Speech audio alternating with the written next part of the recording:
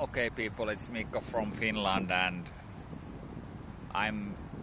You, you guess what? I'm at dog park right now, and I think I have right now a lot of saying and stories. So this is this could be a little bit longer, maybe five ten minutes long video right coming, but. Um,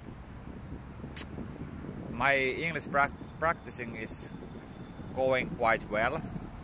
Uh, honestly, I can say that my uh, like new words practicing is not going that way what I thought that it, it will go.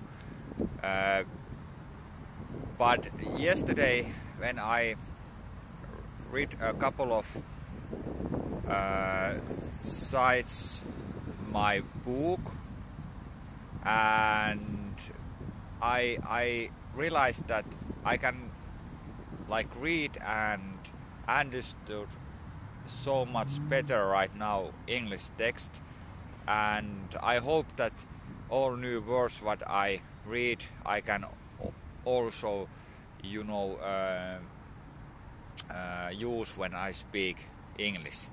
Like honest is like new word what I can use. And I remember when I, I uh, spoke speak English. But uh, there's a so nice story. Uh, I went this week uh, our client's uh, uh, office. And there there was one man. And I met him like two or three months ago.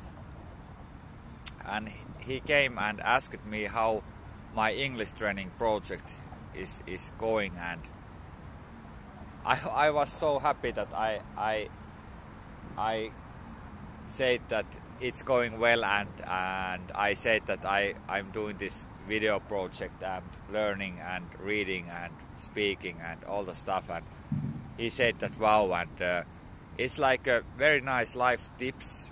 So so when you start some new project and you want some uh, results it's nice you know to talk to your friends that you are doing your your project because your friends will ask you how how it's going and you know it's the pressure pressure thing and you I think that you want to also say that your project is going well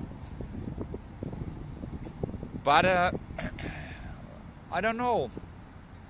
Uh, I think also that uh, I have like understood one one very big thing with my English project, and it's like the find like the new uh, like uh, right styles how I can you know speak and learn English and what is like uh, good to me and what is like a good learning tools to me and uh, I like this that I I, I uh, watch like TEDx videos like business videos and all, all videos where they are speaking English and I try to uh, learn it how it's how they spell English and all the stuff. I like this YouTube project. I like to speak to you right now. I'm practicing. Myself how to speak better English. I like to speak with Jacob, like Live, and and uh, with WhatsApp.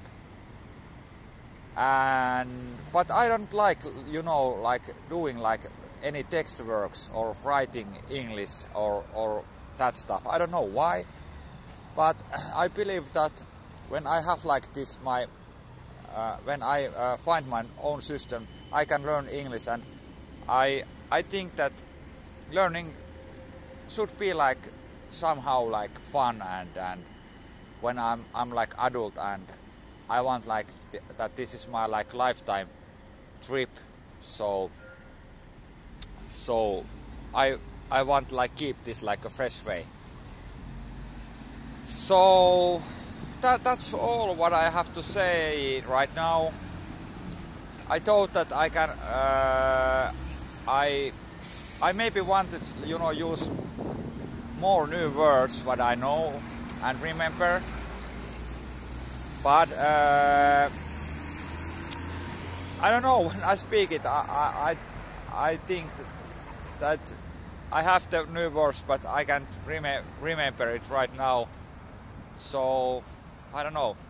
I have to keep going on practicing more that I can use more words when I speak to you. But that's all, and there is also a Louis B. And Louis is here. Louis, okay, Louis want go to home, and we start like uh, our working day. We have like home office day today. So um, have a nice day, have a nice evening, or I don't know where you are. So have a nice evening or morning. But uh, see you soon and keep going on and practicing. That's all. Bye bye. And hey, six minutes. Yes, six minutes English training.